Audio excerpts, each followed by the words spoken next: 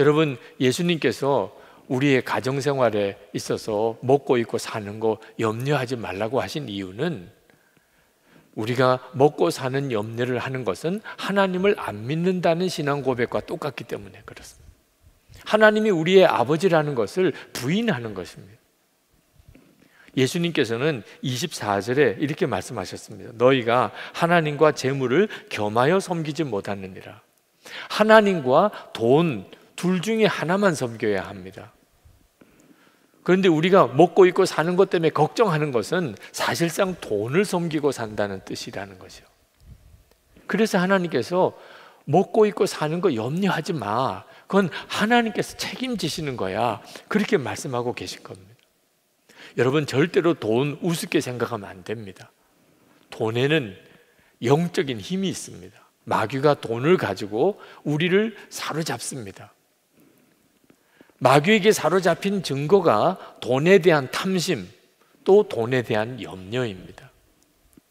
여러분이 돈에 대해서 염려하지 않고 살려면 길은 하나밖에 없습니다.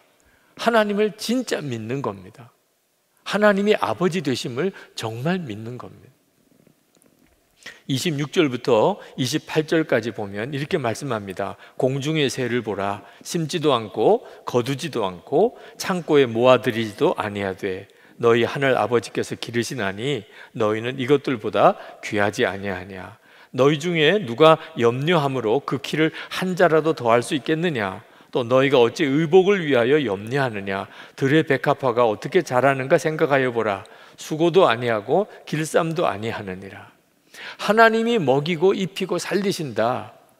이것을 아주 단순하게 믿는 것은 엄청난 능력입니다. 이것이 정말 믿어지는 것. 하나님이 먹이고 입히고 살리신다. 그러면 다른 어떤 문제도 문제가 될 게 없습니다.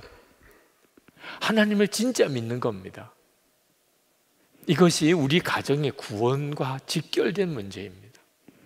만약에 먹고 입고 사는 것에 대해서 하나님께 정말 믿고 맡겨지지 않는다면 그는 그저 기독교라는 종교를 가지고 있는 것일 뿐입니다.